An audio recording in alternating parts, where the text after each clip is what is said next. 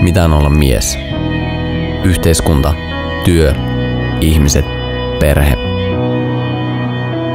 Kaikki ottaa sulta jotain. Kaikki haluaa susta palasen. Ja usein moni haluaa muuttaa myös sinua heidän kaltaisekseen.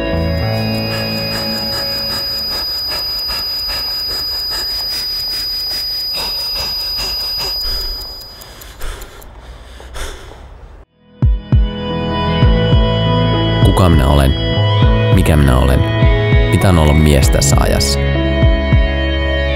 Noihin kysymyksiin ei yhteiskunta tai ihmiset ympärillä voi antaa vastausta.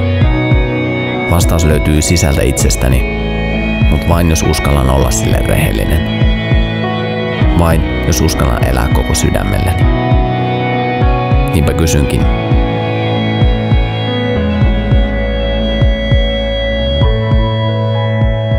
Uskallanko elää? Uskallanko olla oma itseni? Ja uskallanko rakastaa koko voimallani? Sillä vaikeinta olla oma itsensä. Maailmassa, joka yrittää koko ajan sinua muuttaa. Mutta se on ainoa tie, jos haluan kokea merkityksellistä elämää miehenä ja tuntea rakkauden elämässäni. Mun nimi on Teemu Syrjälä. Mä oon hyvinvointivalmentaja, blokkaaja, tanssija, isä ja ennen kaikkea mä haluan selvittää, mitä on olla elinvoimainen mies tässä ajassa. Mikäli sulla kiinnostaa myös, niin tää kirja on sulle.